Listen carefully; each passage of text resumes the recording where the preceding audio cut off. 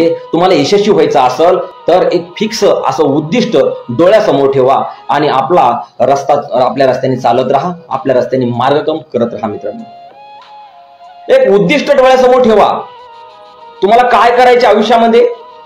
तुम्हाला काय मिळवायचं आहे? तुम्ही कुठे पोहोचणार आहात? हे जर तुमच्या डोक्यात नसेल हे जर तुम्हाला माहीत नसेल मित्रांनो तर असा याचा असा अर्थ होतो की तुम्ही कुठेतरी नेम धरला आणि तुम्ही भुसकाटात गोळ्या मारत आहात. आणि भुसकाटात गोळ्या मारून मित्रांनो कधीही कुठेही नेम लागत नाही लक्षात घ्या.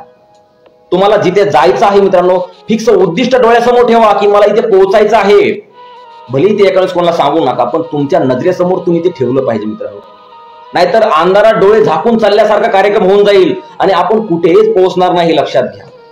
जे लोक डोळे काही काही लोक म्हणतात सर आम्ही डोळे उघडे ठेवून चालतो. मित्रांनो डोळे उघडे ठेवून चालण्याला काही अर्थ नाही. ज्यांच्याकडे विशिष्ट असं ध्येय नसतं ज्यांच्याकडे विशिष्ट असं उद्दिष्ट नसतं मित्रांनो ते डोळे उघडे ठेवून जरी चालले तरी ते डोळे झाकून चालल्याप्रमाणे आहे मित्रांनो.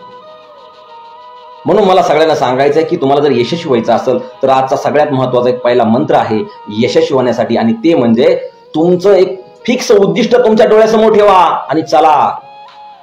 जर कोणी इथून पुढे आतापर्यंत जर कोणी तसं करत नसेल मित्रांनो कोणी जर डोळ्यासमोर उद्दिष्ट ठेवून चालत नसेल तर इथून पुढे लक्षात ठेवा मित्रांनो ही जिंदगी अशी घालायची नाहीये. हे जर आयुष्य तुम्हाला मिळालेलं आहे तर हे तुम्हाला सत्कारण्यासाठी काहीतरी लावायचं आहे.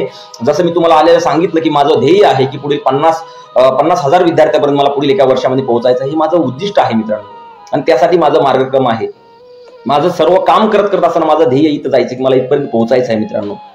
तसं तुमचं देखील तुम्ही स्वतःजवळ काहीतरी उद्दिष्ट ठेवा की मला पुढील वर्षामध्ये मला हे करायचं पुढील पुढील तीन वर्षात मला हे करायचं पुढील चार वर्षात मला हे काहीतरी गोष्ट करायची आहे. असं एक स्पेशल उद्दिष्ट डोळ्यासमोर ठेवा. आणि जर ते नसल ठेवलं तर आता सांगतो की ठेवा आणि तसा मार्गक्रम करा.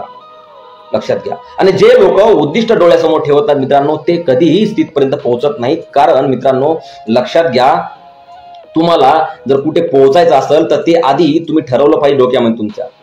जर तुम्हाला माहीत नाही कुठे जाणार आहात तुम्ही एखाद्या बसमध्ये बसलेला आहात. एखाद्या बसमध्ये बसल्यानंतर कंडक्टर तुमच्याकडे येतो आणि कंडक्टर म्हणतो लवकर तिकीट फाडा.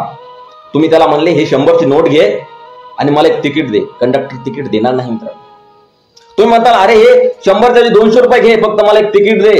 कंडक्टर तिकीट देणार नाही. तो तुम्हाला विचारल कुठे जायचंय? तुम्हाला अगोदर विचारल तुम्हाला कुठे जायचंय?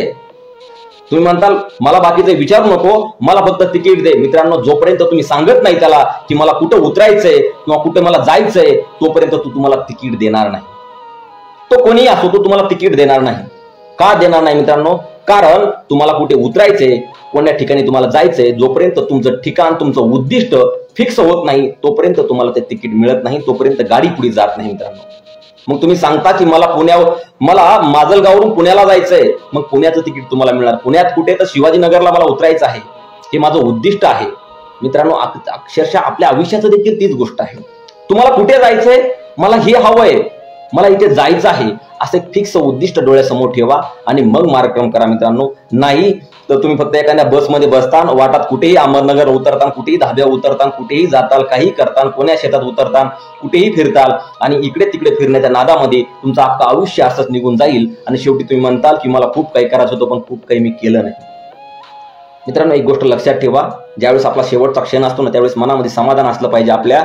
यार जीवनात आलो पण मी मला जेवढ्या गोष्टी मी ठरवल्या होत्या ना तेवढ्या मी केल्या. ह्याचा एक आनंद मनामध्ये असला पाहिजे शेवटच्या क्षणाला आपल्यापाशी. आणि तो आनंद जर आपल्या मनाला स्वतःला द्यायचा असेल मित्रांनो तर तुम्ही आजपासून तुमचं उद्दिष्ट फिक्स ठरवा आणि त्यानुसार आपलं मार्गक्रम करा. लक्षात घ्या. तुम्हाला आजचा विषय आवडत असेल तर नक्की लाईक करा आणि सांगा की सर खूप चांगलं वाटतंय म्हणून.